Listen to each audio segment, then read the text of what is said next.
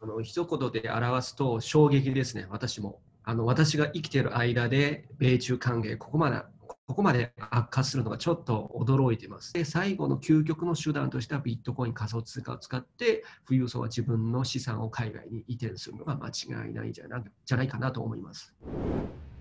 あの先週末に米国のポンペオ国務長官がですねスピーチを行って、中国共産党に対して痛烈な批判をして、習近平国家主席を全体主義の辛抱者だとまあ断定するなど、結構その衝撃的な内容かなと思ったんですけど、これって結構その米中関係、まあ、今までいろいろなね、えー、火種というかありありありましたけど、この演説を機に新たな段階に入ったっていうふうに捉えてもいいんじゃないかと思うんですけど、その辺いかがでしょうか？私がまさにその通りだと思います。私もその演説をまず聞いて、その後ですね、あの文章をしっかり読まさせていただいて、あの一言で表すと衝撃ですね、私も。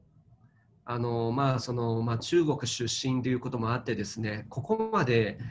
あの私が生きている間で米中関係、ここまでここまで悪化するのがちょっと驚いてますというか、びっくりしてます、私は。ですから、あの一言で言いますと、米中関係はあの最悪な状態には入ってると思いますしで、これからの10年間はですね、おそらくいろんなあの予想外のことが起きるんじゃないかなと個人的には思います。今までって米中貿易戦争があったりとかいわゆるその経済その結構純粋に経済の争いかなって思ってたんですけど今回のそのポンペオのスピーチってその政治理念に対するこう攻撃というか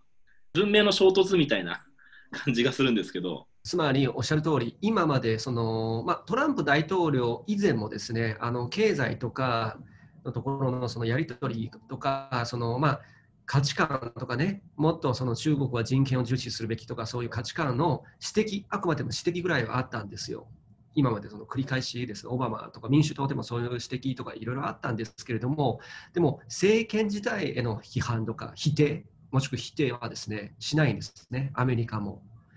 けれども今回は米中国交正常化以来初めて共産党っていう存在自体を批判してます。つまりもうこの存在自体は危ないですよ。存在自体は危険ですよっていうのが、まあ、そういうあの受け取り方じゃないかなと皆さんあの読んでいる方がそういうふうに多分思っていらっしゃると思いますしでですからこういうのが初めてですね。あの今までは経済そして政治まではいかないんですけど人権問題とかあの法治社会とかねそういうのがこう指摘ぐらいはしてたんですけれどもさすがにここまでこの制度まさにその社会主義全体共産党を否定しているのが初めてだしそこら辺に対して私は結構びっくりというか驚いてます。が実は米中の間がですねあの今8つの火種があると私は思っておりましてそれをちょっと今日ですねまとめて皆さんに説明しようかなと思っています。一つはですねあのウイグルウイグル地区の問題ですね、これは結構日本のニュースでも取りあの取り上げられていますが、まあ、あのウイグル地区のその民族民族問題で今100万人が拘束されていると言われてますが、あの世界ですね。まあ、それはもちろん中国側は否定してますけれども、まあ、いろんな証拠がありますし、まあ、その人数はま具体的な何人かは別として、こういう問題が全く存在しないのが多分ありえないだろうと思います。で、2つ目は南シナ海ですね。これはあの私もびっくりしたのが、初めてですね、あのアメリカ側はこれは違法だと断言してますね。あの南シナ海は結構揉めてますけれども、そして中国勢力は拡大してますけれども、さすがに今までは米国は違法だっていうのは言ってないですね。あのちょっとあの懸念してますとかね、そういう言い方してますけれども、もう違法を言い切って、もう断言するのが初めてです。これは2番目ですね。3番目、あのファーウェイ問題ですね。ファーウェイだけではなく、そのえー、例えば中国のもう一社 ZTE という会社あるんですけれども、まあ、そういう通信大手ですね、あの設備の大手が今世界中にですね、特に米国を中心に危ないんだっていう問題が揉めていますし、でつい最近が英国でイギリスはそれは排除するっていうのは決めましたし、まあ、おそらくあのアメリカはこういう企業にはもっとあの圧力をかけていくんじゃないかなと思います。で、4番目、これは前回の番組、私と大木さんがですね説明した香港問題、香港あの自治法と一国二制度の崩壊ですね。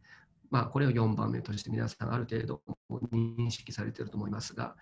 で5番目、ここは多分皆さんあんまり意識しないんですけれども、実は中国にとっては大きな問題があります。で、留学生です。実はアメリカは留学生に対してビザをですね、発行の停止は今してます。今現在アメリカにいる中国人の留学生はですね、37万人がいると言われています。で世界あの世界あのいろんな国がいるんですけれども、中国人が一番多いですね、留学生。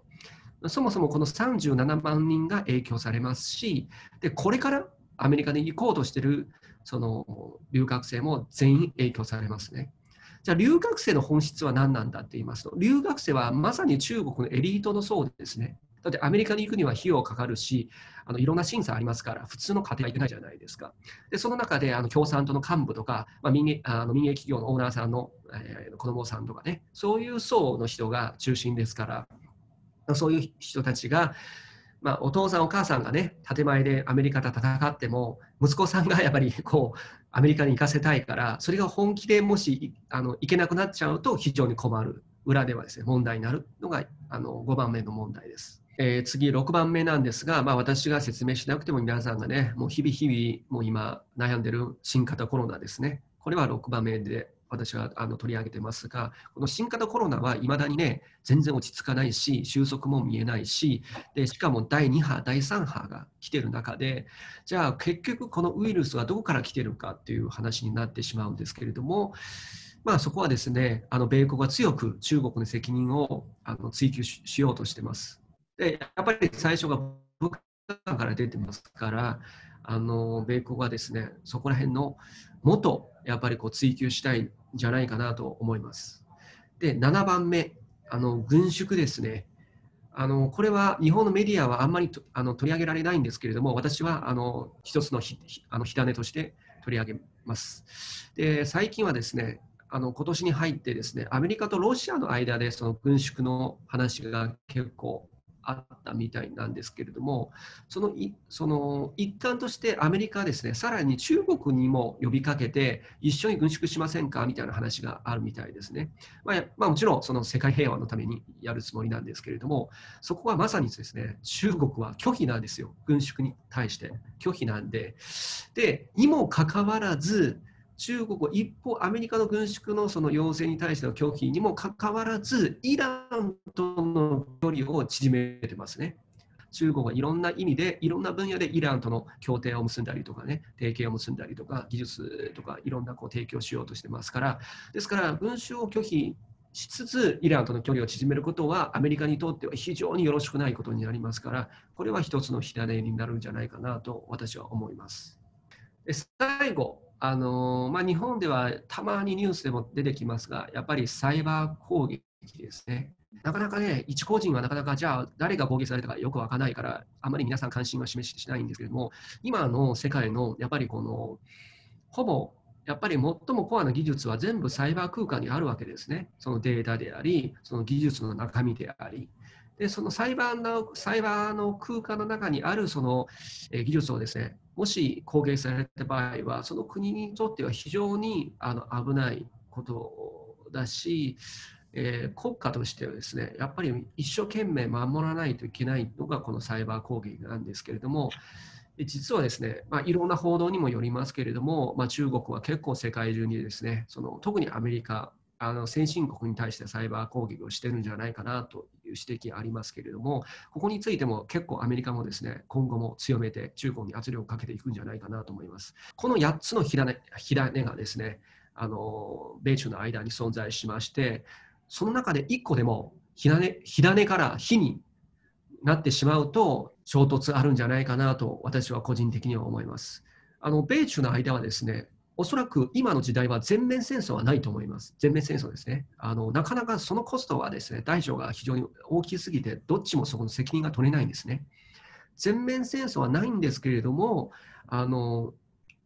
極地でのその衝突は絶対あり得ると思います。ワンさんはどの火種が一番怪しいっていうふうに見てますかね？2番目、南シナ海は危ないんじゃないかなと思います。やっぱり2番目の南シナ海、一番その軍事衝突にはつながりやすいんですね。他はあくまで人権問題とか経済問題、あくまでも、まあ、アメリカは口を出すんですけれども、実際は行動しづらいですね。じゃあ、じゃあ、あの新疆にその人権問題、民族問題あるから、アメリカはじゃあ、新疆とかそういう中国を攻撃しましょう、軍事攻撃しましょうっていうのはならないんじゃないですか。まあ、中国だから。あの人その、ね、独立国家としてはなかなかできないんだしで、でも南シナ海がちょっと違います。南シナ海は今までそのやっぱり自由なところであり、米軍もですね結構そこら辺はアジアとアメリカの通路に対しては非常に大事なところで認識してますから、でしかも、まあ、アメリカえアメリカもそうだしあの、日本でもね基地を持ってますから、えー、南シナ海でもしあの局地的なその軍事衝突が、起きた場合は全然私はおかしくないんかなと思います。台湾問題もありますからね、台湾がもし独立とかね、今、もし独立そういう傾向があった場合は、やっぱり中国は多分台湾を攻撃しますし、でそこを交えて南シナ海で全体その地域でですね、なんか軍事衝突あるんじゃないかなと思います。そうしたその米中対立の激化をまあ懸念してか、金がすごい高騰して、そうですね。高値を、ね、連日更新してますけど、はい、で一方でビットコインは1万ドルをここ2、3日で突破して、まあ、今日も上がっていると。はい、こちら、あれですかね、金と同じように安全資産としてあの資金が流入したっていうふうにも考えてもいいですかね。えー、っと金は間違間違いなくそのこういうご時世だからということで上がってると思います。金はですね。で最近もう一つは、まあ、金はもちろんこのあのやっぱり地政学あの地政学に影響されてるし、あとはその最近のこの各国のこのばらまき政策ですね。あまあまあ、とりあえずね、コロナが経済てあの経済がストップしてるから、まあ、国民にね、10万でもアメリカでもね、1000ドルとか2000ドル配りましょうみたいなお話がこう出てきてで、どんどんやってるわけですから、ここら辺の影響はかなり大きいかと思います。プラス、このご時世だから金が上がってるんですね。金はそこら辺はその認識で大丈夫なんですけれども、じゃあビットコインはまさに今のこのご時世に影響され最近上がってるか、私はまだその結論をつけるのは早いかと思います。で、ビットコインは、まあ、最近上がってるのが、まあまあのー、半減期が半減期がですね、もうどんどん今半減期が終わって次のステップに進めている中でビットコインがそろそろ上がる上がるんじゃないかなみたいな見方があってで上がってるしでもちろんこのご時世があるから一部の人がビットコイン投資している可能性が高いです。けれどもけれども金のようにあのやっぱり世の中にはそういう認識まだ普及してないからビットコインはあくまでも今からだと思います。こういうご時世で私を守ってくれる資産あるんだみたいなこう人々を気づくんですね。で調べれば金の属性と同じようにビットコインのそういうものがあってしかも金よりはもっと安全性が高い。金だって偽物ありますから、以前の番組であってですね、偽物あるし、ビットコインはそういうのがないし、で買ったらすぐ自分の手元にありますからね、金はなかなか買っても、現物がじあの自宅自宅に保有する人は多分少ないと思いますね。あくまでも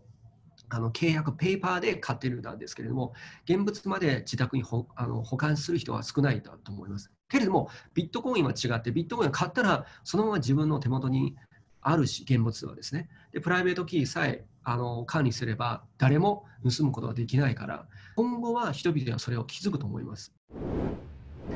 で、結局、究極は何が起こるかって言いますと、あのやっぱり中国経済が一番影響されますね、中国経済。この8つの火種の中でやっていく中国経済は非常に厳しいだと私は思います。で、中国は今はですね、もし経済が厳しくなると、一番当局が取る手段の、もう最初取る手段の一つは、あの外貨ですね。まあ、いかにこの外貨を残すっていうのが取るわけですよ、手段としてですね。つまり、今まで以上に外貨の制限が厳しくなるのが間違いないです、今後はですね。えー、私はこの今後の10年間は結構変わると言ってますが、その中で中国は、えー、留学生のビザもありますから、中国人の海外に対してその投稿は結構厳しくなると一つ。もう一つは、中国人が国内でいくらでも金持ち、いくら金持ちとはいえ、その外貨をですね稼ぐには非常に厳しくなります。つまり、いくら例えば民間企業の経営者とはいえ、人民元がどのぐらい資産を持ったと持っているとはいえ、アメリカであのなんか事業を行うとか、不動産買うにはどんどん厳しくなるのが間違いないだと私は思います。その中でビットコインですね。ビットコインはやっぱりなかなかインターネットがある以上では防ぐのは完全に防ぐことは不可能ですから OTC マーケットを通じて富裕層のそのお金の流出はですね絶対ビットコイン通じてあの海外に行くんじゃないかなと思います。で最後の究極の手段としてはビットコイン仮想通貨を使って富裕層は自分の資産を海外に移転するのが間違いないんじゃないかなと思います。Cointelegraph. Like, subscribe, and hodl.